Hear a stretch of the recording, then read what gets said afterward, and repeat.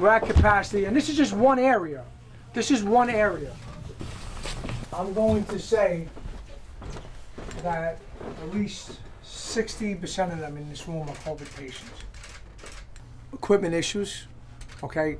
We don't have enough stretchers. We don't have the infrastructure to handle the amount of people that we're, we're, we're, we're, serving. We're way above capacity, as you guys can see.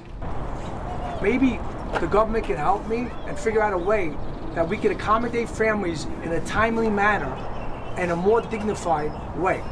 We need help. I, I would love to pick up grandma now and have her under, under, my- you know, my roof where I could watch her, but I don't have the, I don't have the accommodation to get her right now. Did you and mom decide on what type of services that you wanted?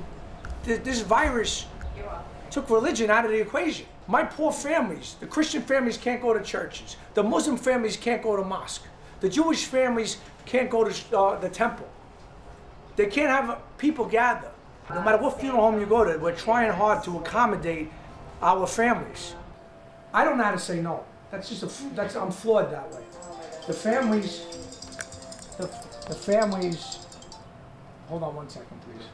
Hi, this is Pat, can I help you? Yeah, I know my stuff, unfortunately, uh, and now I'm getting more experience. Oh, I'm getting, I'm getting five years experience in, in, in five days.